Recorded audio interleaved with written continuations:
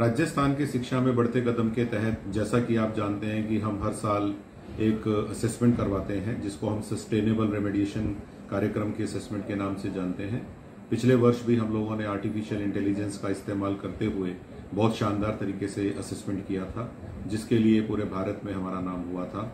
इस वर्ष भी आपके बीच में वो असेसमेंट कार्यक्रम फिर से आ गया है। और मैं आप लोगों से दो तीन रिक्वेस्ट करना चाहूँगा। सबसे पहले तो मैं आप सभी से ये निवेदन करूँगा कि आपके यहाँ इन दिनों में उपस्थिति 100 प्रतिशत रहनी चाहिए। तो इसीलिए ऐसा कुछ ना करें जिससे कि कमज़ोर बच्चे इन दिनों में स्कूल ना आए। हमें सभी बच्चों को असेस करना है। तो अभी से मैसेज करना शुरू करिए कि कौन से दिनों पर 100 प्रतिशत उपस्थिति होनी ज़रूरी है। उसके बाद ये याद रखिए कि अगर असेसमेंट में बच्चे कमज़ोर रहते हैं, हमें उसका इलाज निकालना है, हमें उसका सोल्यूशन करना है। अगर हम उनकी गलत तरीके से मदद करने का प्रयास करेंगे तो जैसा कि आपको ध्यान है कि लास्ट टाइम भी आर्टिफिशियल इंटेलिजेंस टूल की वजह से हम लोगों ने 250 से ज़्यादा ऐसे लोगों को आइडेंटिफाई कर लिया था, जिन्होंने मास कॉपिंग जैसी चीज़ें करवाई थी।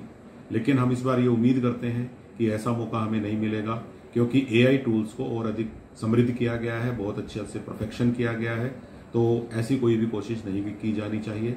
वैसे भी एक टीचर का उद्देश्य होना चाहिए कि स्टूडेंट्स के द्वारा जो सीखा गया है उसको वो कितना समझ पाया है?